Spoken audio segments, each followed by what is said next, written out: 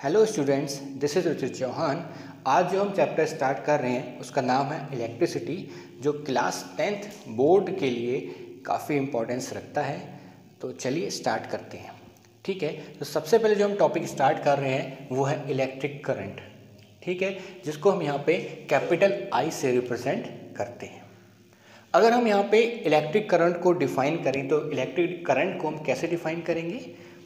It is the rate of flow of charge it is the rate of flow of charge यहाँ पे देख लीजिए, मैंने लिख भी दिया है। Rate of flow of charge मतलब कि करंट क्या है? करंट जनरली क्या है? Flow of charge per unit time मतलब रेट का मतलब यह है कि जो फ्लो ऑफ़ चार्ज हो रहा है, जो चार्ज जा रहे हैं, उसको हम डिवाइड कर रहे हैं टाइम से। तो सिंपली हम ये कह सकते हैं कि इलेक्ट्रॉन्स या कह सकते हो जो चार्ज की क्या स्पीड है, फ्लो होने के लिए। ठीक है? चार्ज की क्या स्पीड है, फ्लो होने की, वो रिप्रेजेंट करता है हमारा इलेक्ट्रिक करंट। ठीक है? तो इलेक्ट्रिक करंट बराबर क्या हो गया? Total charge divide by time. कि कितने टाइम में? तो हमारा, जो हमारा टोटल चार्ज है, वो फ्लो कर रहा है।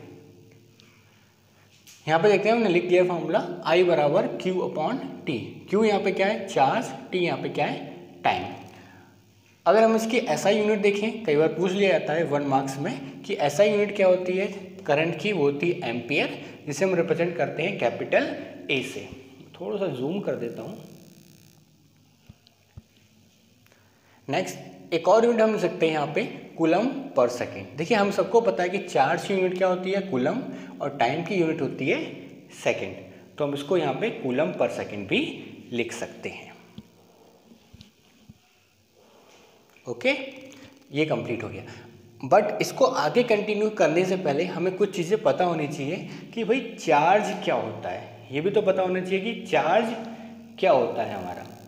ठीक है? तो थोड़ा सा मैं यहाँ पे चार्ज को और डिफाइन कर देता हूँ आपके सामने। चार्ज बेसिकली क्या है? जिसको हम क्यू से रिप्रेजेंट कर रहे हैं, वो हमारा क्या है? चार्ज। देखिए, चार्ज एक ऐसी प्रॉपर्टी है किसी मटेरियल की। चार्ज एक ऐसी प्रॉपर्टी है किसी मटेरियल की, जिसकी वजह से वो क्या होता है? फोर्स ऑफ़ अट्रैक्शन या फोर्स ऑफ़ रिपल्शन फील करता है। इलेक्ट्रोस्टैटिक फोर्स ऑफ़ अट्रैक्शन या रिपल्शन मतलब कहने का मतलब ये है कि अगर कोई चार्ज बॉडी है और अगर वो किसी दूसरी चार्ज बॉडी के पास रखा जाए तो क्या होगा? दोनों के बीच में या तो अट्रैक्शन होगा, या तो फिर रिपल्शन होगा। इस तरीके की जो प्रॉपर्टी होती है किसी मटेरियल की, उसे कहते हैं हम इलेक्ट्रिक चार्ज ठीक है? ये बात याद रखिएगा आप यहाँ पे कि अगर दो पॉज मतलब एक पॉजिटिव और एक नेगेटिव चार्ज है तो वो अट्रैक्ट करेगा। अगर दो सेम टाइप के चार्ज है, मान लीजिए पॉजिटिव और पॉजिटिव तो वो एक दूसरे को रिपल करेंगे। और अगर दो नेगेटिव हैं तो भी वो एक दूसरे को रिपल करेंगे। तो सेम टाइप के चार्ज रिपल करते हैं और अपोजिट टाइप के चार्ज अट्रैक्ट करते हैं। ये बात आपको पता होनी चाहिए। तो सिंपली क्या है? चार्ज किसी मटेरियल की प्रॉपर्टी है, जिसकी वजह से फोर्स ऑफ़ अट्रैक्शन या रिपल्सन दो चार्ज के बीच में फील दो चार्ज पार्टिकल्स के बीच में फील होता है। ये बात आपको समझ में आ गई होगी। ठीक है? अब चार्ज की जो यूनिट है, वो क्या होती है? चार्ज की जो यूनिट है वो क्या होती है? कूलम। ये आपको पता होना चाहिए। और जिसको हम रिप्रेजेंट करते हैं कैपिटल सी से। एक और चीज़ है जो आपको यहाँ पे पता होना चाहिए कि चार्ज बराबर क्या होता है? टोटल चार्ज बराबर क्या होता है? एन इंटू ई चार्ज बराबर क्या होता है हमारा? एन इंटू ई यहाँ पे एन क्या है? नंबर ऑफ़ इलेक्ट्रॉन्स और ई e क्या है? चार्ज ऑन इलेक्ट्रॉन अब आप ये बात याद रखिए कि जो इलेक्ट्रॉन पे जो चार्ज होता है इलेक्ट्रॉन के ऊपर जो चार्ज होता है, वो उसकी वैल्यू क्या होती है? फिक्स होती है और वो कितनी होती है? Minus one point six into ten की पावर माइनस नाइनटीन कूलम। क्योंकि देखिए चार्ज है तो उसकी यूनिट क्या होगी?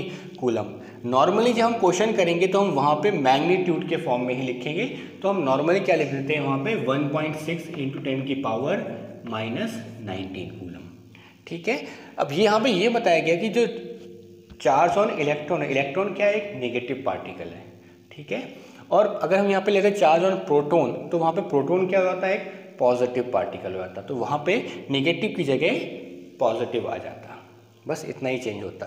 तो हमने क्या किया है? जो एक फंडामेंटल या कह सकते हो एक स्मॉलेस्ट चार्ज पार्टिकल माना जाता है, वो माना जाता है इलेक्ट्रॉन्स तो नॉर्मली जो भी किसी वायर में या किसी मटेरियल में मटेरियल में जो चार्ज फ्लो करता है, वो हम कौन सा चार्ज मानते हैं? चार्ज ऑन इलेक्ट्रॉन ओके अब यहाँ पे हम देखते हैं कि ये टोटल चार्ज बराबर क्या हो गया एन टू ई मतलब अगर देखिए, एक पॉइंट से दूसरे पॉइंट तक एक चार्ज गया, दो चार्ज गया, तीन चार्ज गया, चार चार्ज गया तो टोटल चार्ज कितना हुआ? तो हम क्या कहेंगे? टोटल चार्ज कितने हो गए?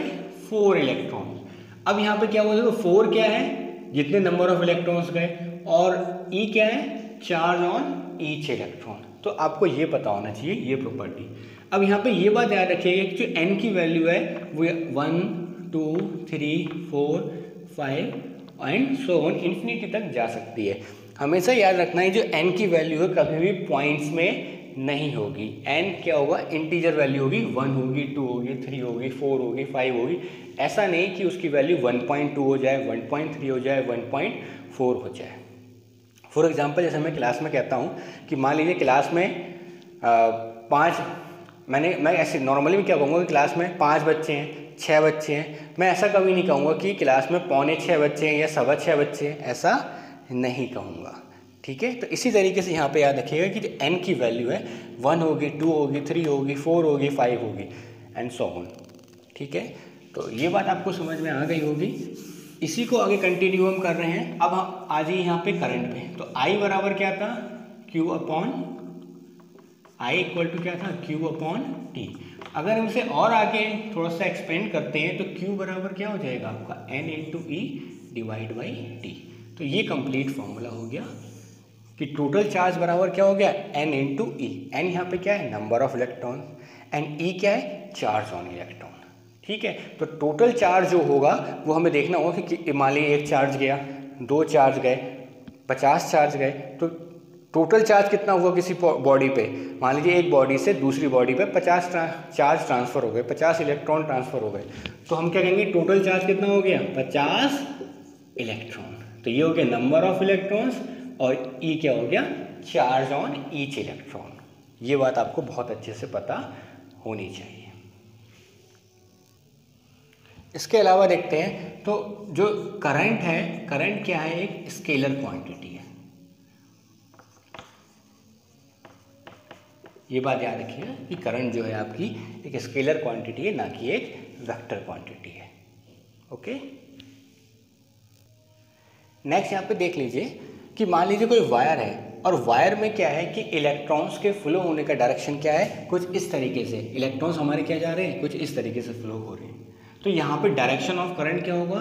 Just opposite to the flow of electrons मतलब जिस डायरेक्शन में इलेक्ट्रॉन्स फ्लो कर रहे होंगे, उसके जस्ट अपोजिट डायरेक्शन में करंट फ्लो कर रहा होगा, ये आपको यहाँ पे याद बिल्कुल रखना है। ठीक है? कि जिस डायरेक्शन में आपका current flow sorry electrons flow कर रहे होंगे, उसके जस्ट अपोजिट डायरेक्शन में आपका करंट फ्लो करेगा। ये बात आपको बिल्कुल अच्छे से पता होनी चाहिए।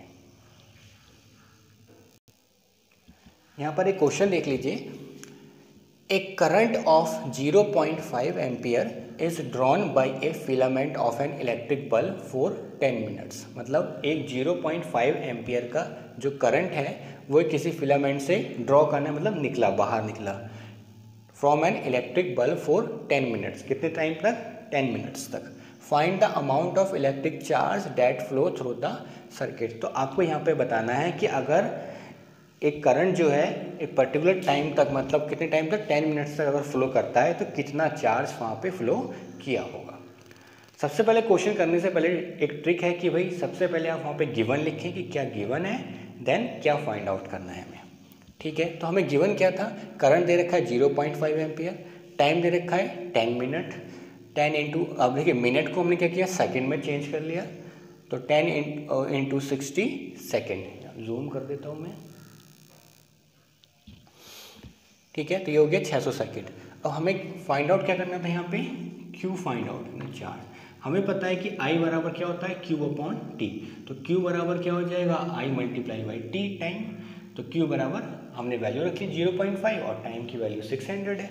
तो यहाँ पे आ गया क्यू बराबर थ्री हंड्रेड कूलम स्टूडेंट्स ये याद रखना, आप यहाँ पे यूनिट लिखना ना भूलना. क्योंकि बच्चे क्या होते हैं एक्साइटेशन में क्वेश्चन तो कर देते हैं और एक्साइटेड एक्साइटेशन में वो भूल जाते हैं कि यूनिट भी लिखनी है. तो कई बार क्या होता है, बच्चे यहाँ पे सिर्फ़ थ्री हंड्रेड लिख देते हैं और ये छोड़ देते हैं। तो जैसे ही आप यहाँ पे इसकी यूनिट नहीं लिखेंगे तो ज़ीरो पॉइंट फाइव मार्क्स आपके बोर्ड एग्ज़ाम में डिटेक्ट हो जाएँगे। तो याद रखना ये बात नेक्स्ट क्वेश्चन है हमारा। Calculate the number of electrons having one coulomb of charge तो हमें यहाँ क्या क्या कैलकुलेट करना है? नंबर ऑफ़ इलेक्ट्रॉन्स एन की वैल्यू फाइंड आउट करनी है। और कितना चार्ज दे रखा है? वन कूलम तो टोटल चार्ज रखा है? वन कूलम और नंबर ऑफ़ इलेक्ट्रॉन्स निकालने तो कौन सा फॉर्मूला लगाएँगे हम?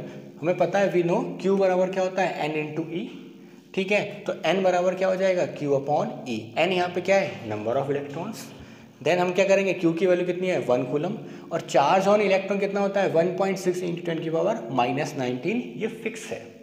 ठीक है? याद होना चाहिए आपको। इसको सॉल्व करेंगे तो आ जाएगी value six point two eight into ten की पावर एटीन स्टूडेंट ये याद रखना कि एन की कोई यूनिट नहीं होगी। ये नंबर ऑफ़ इलेक्ट्रॉन्स है। नंबर की कोई यूनिट नहीं होती है। याद रखना ये बात, क्योंकि कई बार बच्चे क्या होते हैं, यहाँ पे कूलम लिख देते हैं और यहाँ मिस्टेक हो जाती है उनकी। एक और तरीके से आप देख सकते हो कि एन बराबर क्या है? क्यू अपॉन ई क्योंकि चार्ज यूनिट कितनी होती है? Coulomb divide by electron electron की यूनिट भी क्या है? चार्ज और इलेक्ट्रॉन की यूनिट क्या है? कूलम। कूलम से कूलम कटेगा तो कोई यूनिट आपकी नहीं बचेगी। ठीक है? तो यहाँ तक आपको मुझे लगता है कॉन्सेप्ट समझ में आ गया होगा कि इलेक्ट्रिक करंट क्या होता है चार्ज क्या होता है, और दो अच्छे क्वेश्चन भी करा देंगे बोर्ड में कभी कभी पूछे भी गए हैं। अगर कोई डाउट है तो कमेंट बॉक्स में कमेंट कर सकते हैं। नेक्स्ट लेसन लेसन में हम लोग इलेक्ट्रिक पोटेंशियल या पोटेंशियल डिफरेंस हम पढ़ेंगे, ठीक है? Thank you very much